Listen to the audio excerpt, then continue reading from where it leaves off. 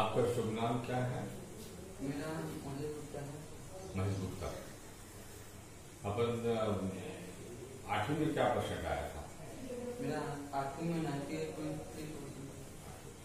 तो पढ़ाई में आप ऐसे लगातार आपका प्रोग्रेस रहा है। हाँ। इस पढ़ाई में आपका आप किसको किसको श्रेय देना चाहते हैं?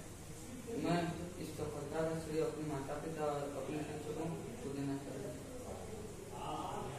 ये जैसे आप बारहवीं में है ना? दसवीं। दसवीं में। तो किसमें आपको ज़्यादा सफलता मिली है? किस विषय में? मेरे को ज़्यादा सफलता गणित में मिले है। अच्छा।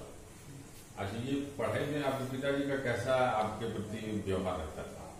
उनका बहुत अच्छा व्यवहार होता था। अच्छा। और पढ़ाई में ध्यान देते अच्छा अच्छा। कैसे पढ़ते हैं? और ये आपका जैसे पढ़ाई के बीच में अपन खेती का काम भी अपन देखते हैं कि नहीं देखते? नहीं नहीं केवल पढ़ाई करते हैं। हाँ। घर के काम में आप हाथ नहीं बटाते। नहीं कभी थोड़ा हैं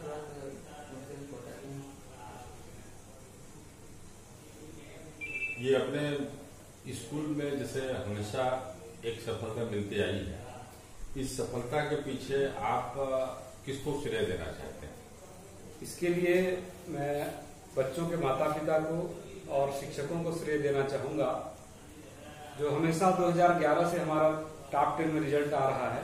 बच्चे भी प्रेरित हो रहे हैं और माता पिता भी प्रेरित होकर के उस ओर पूरा ध्यान दे रहे हैं।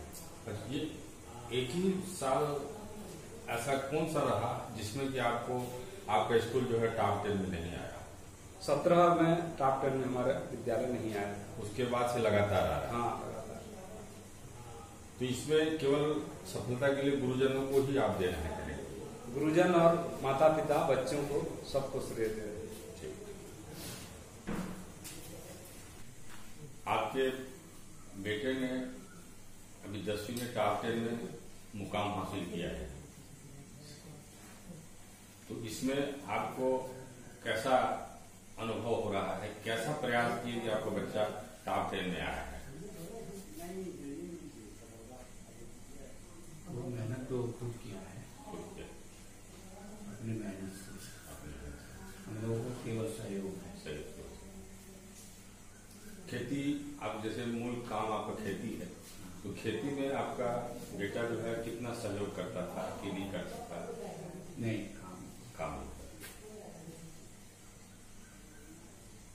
तो आगे बच्चे के लिए आप क्या सोचे? अपने बेटे के लिए वो जहाँ पढ़ेगा अच्छा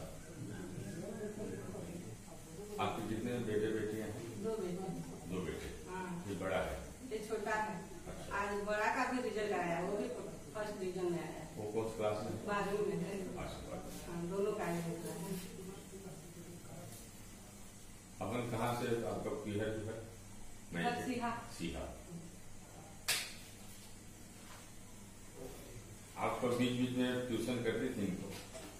छोड़ हाँ बताते बड़ा हो। सब बताते थे कि पापा मेरे पापा दादा। आपको क्या पढ़ाई क्या मैं हाँ, मैं दसवीं पढ़ी आप कितना पढ़ाई किए हैं? मतलब कुल मिला के आप, की जो सोच है, क्योंकि आप ज़्यादा पढ़े लिखे हैं, आप चाहते थे कि अपने बच्चों को अच्छा तालीम दें, अच्छी शिक्षा दें, ताकि वो आगे बढ़े, ऐसा आपका सोच था? हाँ